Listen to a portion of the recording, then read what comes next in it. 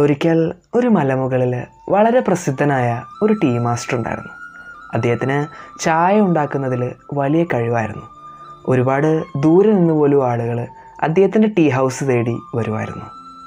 അങ്ങനെ ഇരിക്കെ ഒരു ദിവസം മാസ്റ്റർ ചായ കുടിച്ചുകൊണ്ടിരുന്ന ഒരു ക്ഷമയില്ലാത്ത സമുറായിയുടെ നാവ് പുള്ളി.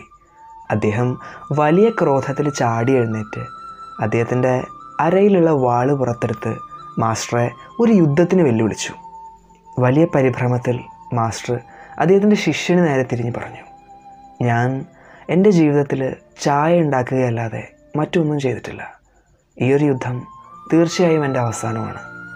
ഇനി മുതൽ ഈ ടീ ഹൗസ് നിന്റേതാണ് അദ്ദേഹത്തിന്റെ ശിഷ്യൻ കരഞ്ഞുകൊണ്ട് പറഞ്ഞു അല്ല മാസ്റ്റർ അല്ല അങ്ങ് ദയവ് ചെയ്ത് ഈ പോരാളിയെ നേരിടൂ.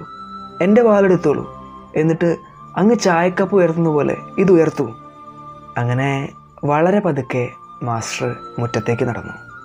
മാസ്റ്ററെ കണ്ട ഉടൻ ആക്രമിക്കാനായി ആ സമുറായി മാസ്റ്റർ അടുത്തേക്ക് ഓടി വന്നു.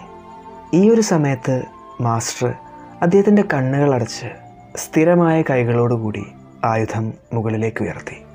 അദ്ദേഹം തന്റെ ചായ ഉണ്ടാക്കുമ്പോൾ ചായക്കപ്പ് മുകളിലേക്ക് ഉയർത്തി പ്രാർത്ഥിക്കുന്നത് പോലെ മാസ്റ്ററുടെ ഈ ഒരു നിശ്ചലമായ നിൽപ്പ് കണ്ട സാമുറായി ആകെ ഭയന്നു.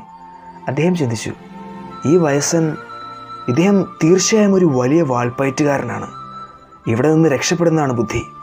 അങ്ങനെ ആ സമുറായി അവിടെ നിന്ന് ഓടി രക്ഷപ്പെട്ടു. പിന്നീട് ഒരിക്കലും അദ്ദേഹം ആ ടീ ഹൗസിലേക്ക് തിരിച്ചു വന്നിട്ടില്ല.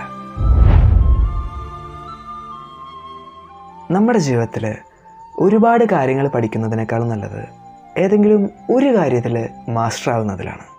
നിങ്ങൾക്ക് കഴിവ് ഏത് കാര്യത്തിലാണെന്ന് കണ്ടുപിടിച്ച് ആ കാര്യത്തിൽ കൂടുതൽ സമയവും പരിശ്രമവും ചെലവഴിക്കുക. So don't multitask focus on your unique skill